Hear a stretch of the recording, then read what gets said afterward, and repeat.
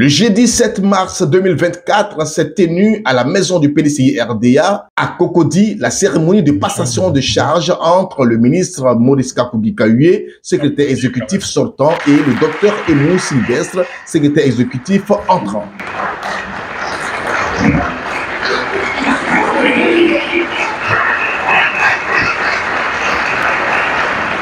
Elle s'est passée sous la présidence de M. Emmanuel Ngora Nyamia. On écoute les mots pleins d'émotion du charismatique secrétaire exécutif du parti sous feu Henri Conan Bédier.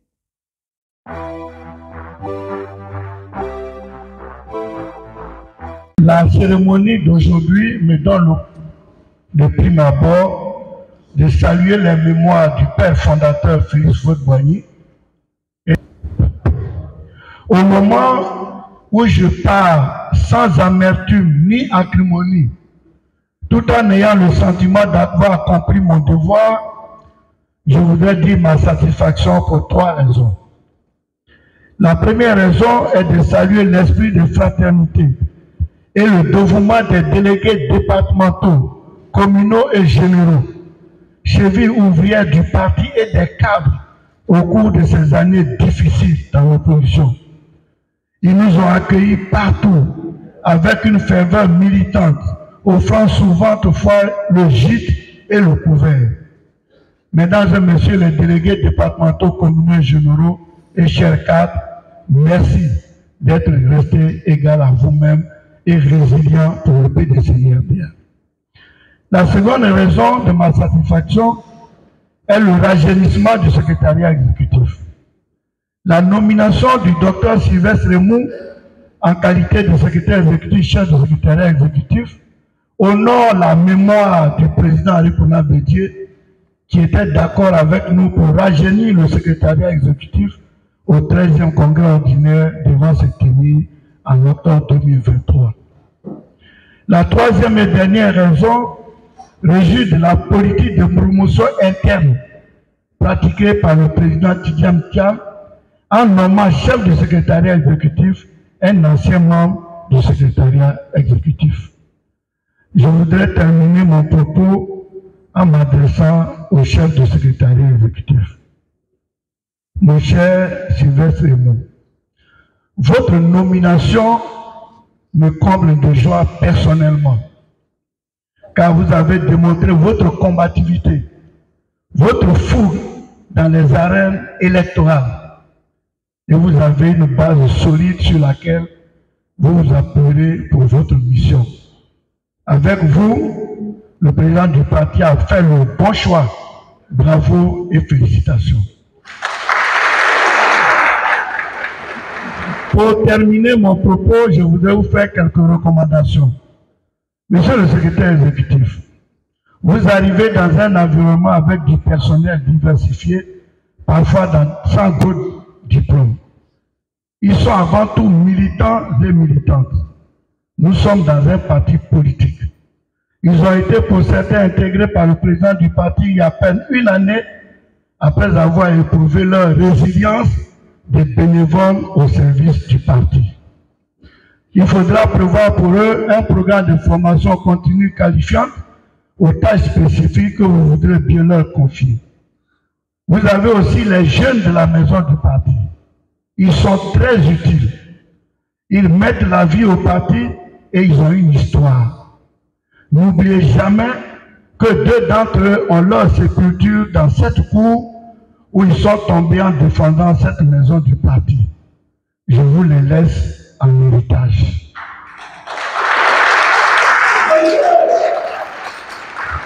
Monsieur le secrétaire exécutif, merci d'avoir accepté ce poste de service je dirais un certain nombre de choses pour que vous sachiez à quoi vous en tenir. Un véritable sacerdoce, sans vous stresser ou vous faire peur, sachez que tous vos gestes et faits seront épiés par des profondeurs professionnels déguisés en militants. Votre conviction devra être encore plus profonde et votre esprit de sacrifice très élevé. Au cours de la décennie passée, j'ai volontiers accepté à la demande du président Henri Bédier de m'offrir sur l'hôtel du parti. Vous n'avez jamais attendu que j'ai été nommé à un poste de l'État. Et ce ne sont pas les opportunités qui ont manqué. Le projet routier du site à Côte d'Ivoire, Nigeria, le comité exécutif de l'Organisation mondiale de la santé et la présidente du Conseil économique, social, environnemental et culturel après le décès du président Marcel Zadik aussi, qui ont été déclinés pour me consacrer exclusivement au PDCI RDA sans exiger aucune contrepartie matérielle ni financière. Je ne regrette pas d'avoir vécu cette expérience pour mon parti. C'est pourquoi je voulais dire, euh, ce n'est pas une question de polémique, mais il faut qu'on dise les choses parce que vous êtes nouveau pour que vous sachiez comment vous asseoir. C'est pourquoi ceux qui jasent sur le prétendu salaire de Dikayu au PDCI me laissent de marbre et me font sourire et à la fois pitié, car ces comporteurs et comporteuses de fausses nouvelles au PDCI projettent leur être sur les autres. Ils imaginent que les autres font ce qu'ils auraient fait s'ils occupaient le poste.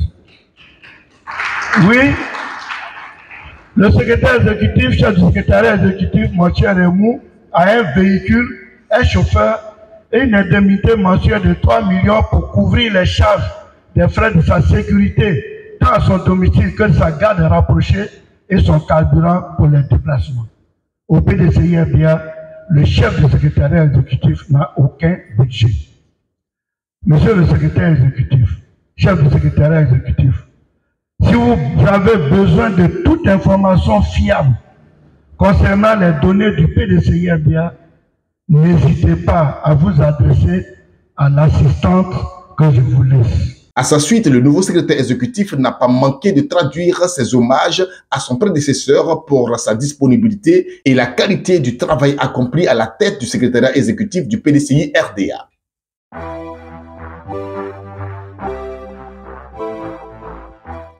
Monsieur le secrétaire exécutif en chef, sortant, cher maître, chers membres du secrétariat exécutif, militantes et militants du PDCI RDA, Chers amis de la presse, mesdames et messieurs, je voudrais remercier très respectueusement et rendre hommage à mon illustre prédécesseur, le professeur Maurice Kakou pour sa disponibilité et la qualité du travail accompli à la tête du secrétariat exécutif de notre grand parti, le PDCI RDA en recevant de ses mains les charges du secrétariat exécutif sous la présidence du ministre Tidiane je mesure la haute responsabilité qui est désormais la mienne. Comme le professeur d'hier, qui m'a encadré pour devenir le docteur d'État en médecine que je suis aujourd'hui, j'ai eu le privilège de bénéficier de votre soutien et de votre encadrement politique pour euh, certainement mériter humblement d'être désigné par le président Thiam pour vous succéder au poste de secrétaire exécutif en chef du PDCI RDA que vous avez tenu avec brio. Mille fois merci, cher maître. Merci, très cher aîné. Et soyez-en sûrs, je ne me gênerai jamais de recourir à vous pour bénéficier de vos lumineux et précieux conseils. Tous ensemble, comme aime à le dire le président Tidiam Thiam, nous continuerons de faire fonctionner au mieux le PDCI RDA en vue de la reconquête du pouvoir d'État. Je voudrais ensuite féliciter toute l'équipe sortante du secrétariat exécutif du PDCI RDA, dont je faisais partie en qualité de secrétaire exécutif chargé de la mobilisation. Je pense à toutes les personnalités qui, aux côtés de notre général Courage, ont maintenu le parti en état de veille, malgré les facteurs extérieurs et intérieurs qui prédisait ou œuvrait à sa disparition. contre laquelle le président Henri Conan Pétier s'est battu jusqu'au dernier souffle de sa vie.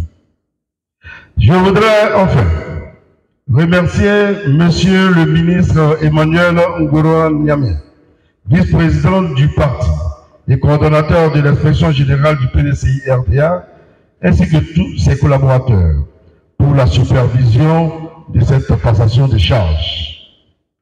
Je termine mon propos en souhaitant bon vent au nouveau secrétariat exécutif que j'ai l'honneur de diriger. Le nouveau secrétaire exécutif du PDCI RDA a profité de l'occasion pour convoquer déjà la première réunion de son bureau qui se tiendra le mardi 12 mars 2024.